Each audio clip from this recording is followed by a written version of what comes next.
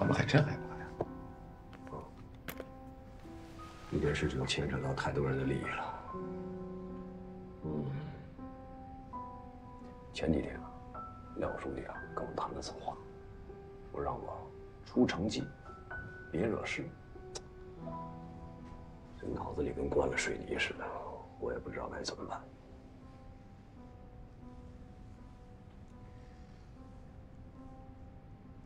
我觉得这话只说对了一半。出成绩是对的，但是别惹事嘛。当官的就不要怕惹事，是看你做的这件事是给百姓做的还是给自己做的。如果是给百姓做的，就什么都不要怕。我要怕惹事的话，我到这溶洞里来干什么？蹲了几个月，干什么呀？无私才能无畏。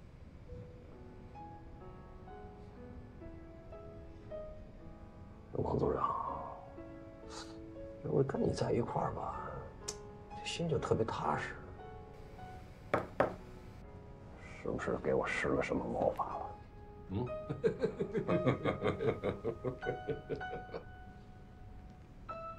哦。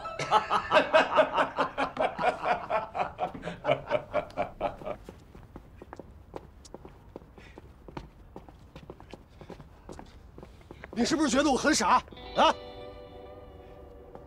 还行，还行，还行，费了那么大的劲，花了那么多时间，牺牲了那么多，请爷爷似的给请回来了。现在跟我说要拆，还不如让我死了算了。这事你得想开点，你就为这事牺牲了，多不好！这么好的活儿，你们环保部门为什么不去谈啊？啊，去谈啊！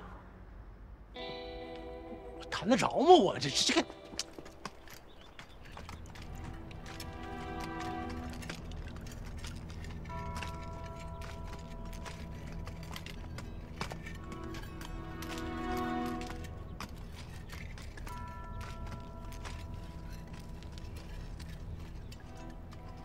这附近没有工厂，他就算是有工厂，这得排多少年、多大规模才能做到？这是暗管排污，真正有问题的不是那些排污超标的企业，是那些经过验收合格的。哈 哈给廖一正打电话，把水尾班子全带过来。现在。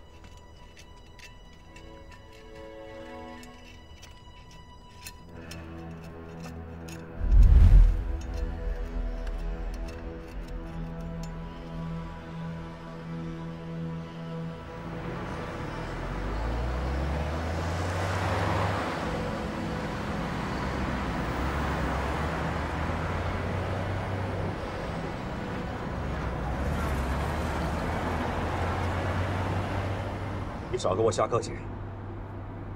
我问你，南洼山那边到底什么情况啊？你不知道？南洼山乡委作为一级组织，你告诉我你不知道？督察组的组长在你们那待了那么长时间，你告诉我你不知道？你现在说，马上说！我和廖书记啊，在车上，马上就到。你要是让廖书记下不了台，你看我怎么收拾你！他们什么时候去的？去了两个多月了，你们不查一下吗？他们每天都在干什么？又是个不知道。村里没有联合治保吗？啊？一下住进去那么多北京人，那口音听着不对，你你往上汇报啊！好了，你们就当做什么都不知道。你通知乡镇那边，全部回到岗位上，随时听吩咐。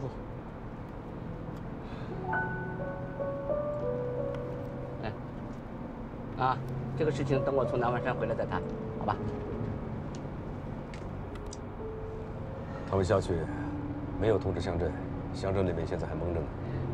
乡派出所去过一趟，说他们都有那个地质勘探的工作证，以为是搞科研的，一看都是读书人，跟乡亲们处的都挺好，所以就就没管。南洼山乡镇党委我很熟，都是些老实人，他们应该不会隐瞒什么。我们到了之后啊，让他们乡镇党委班子全部必须到位，跟我们一块上山。他们随时等通知。哎但是我不明白这个王组长什么意思啊？他让我们市常委班子过去，我们带着乡镇干部过去，合适不合适啊？这这还不明白吗？这三堂会审的局面，有问题就解决问题呗。要挨刀，我也是第一个。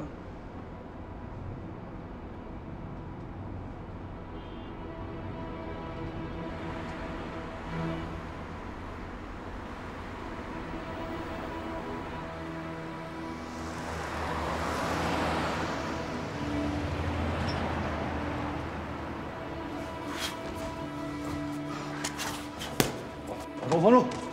哎，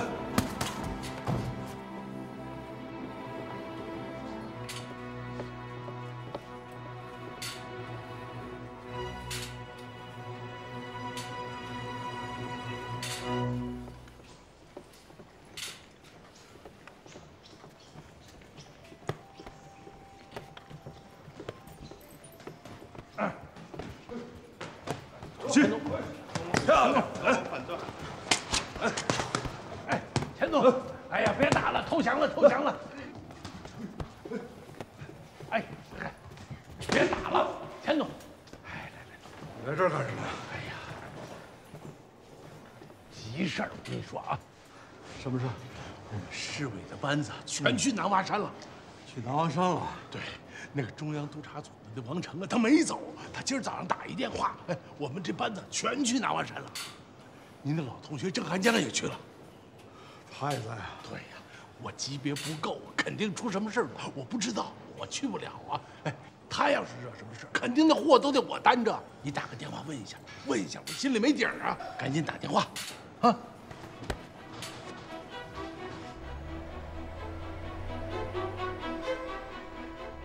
这暗管排污啊，越到下面越严重啊！哎，我说，你能不能定位到暗管的位置？哎，那就慢慢挖呗，先确定污染的范围，再测土壤。去年啊，我们在沙漠发现一处暗管，用了半年时间才找出暗管的隐藏位置。半年可不行，南洼山这一带雨水丰富，夏天一到山洪一下来，这水全都冲到綦江里，那就完蛋了。那也没办法呀，只能慢慢挖。你别没办法，你这。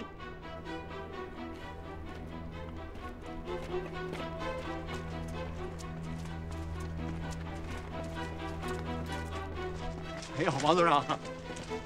哎呀，王组长，真是吓着我了。这潜伏是吧？哈！哎呀，哎呀，辛苦辛苦辛苦！啊，巡视巡视嘛。啊，我看我的，你干你的。有事儿呢打个招呼，没事儿就不叨扰。哎呀呀，啊，你看全都到位了。来，我给你看点你没看过的。哎，好好好。